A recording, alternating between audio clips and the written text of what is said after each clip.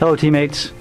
Let me take this opportunity to say a big thank you to Lieutenant General Scobee and to Chief Master Sergeant White for being such great teammates during my last year serving in the United States Air Force. It's been a real honor and a pleasure, and I appreciate that opportunity. So, as I complete my 34th year as a member of the greatest Air Force on the planet and prepare to hang up the uniform that I've been so proud to wear, I wanted to take one last opportunity to thank you for your selfless dedication to a grateful nation. Throughout my entire career, on active duty and in the Air Force Reserve, I've been blessed to have had the opportunity to serve alongside incredible people, military and civilian personnel who come from all walks of life to create this incredible team.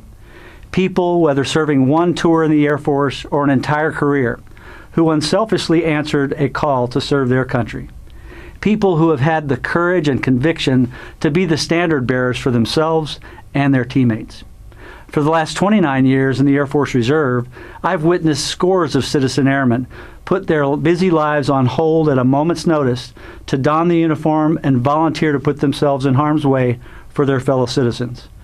Most who have already worked a 40 hour plus work week at their civilian jobs are going to school full time or are raising a family.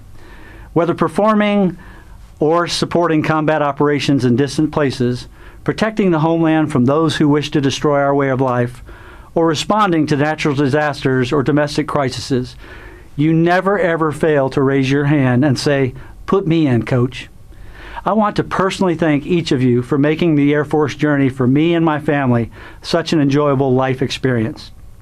These are exciting yet challenging times for our Air Force, and I'm comforted in knowing that we have professionals like you leading the way into the future. So, on behalf of the entire Flournoy family, Thank you for all that you do to ensure our safety and security. You've provided us with a career's worth of phenomenal experiences, as well as personal and professional relationships that we simply would not have had without our Air Force family. From our family to yours, we wish you all Godspeed in the future.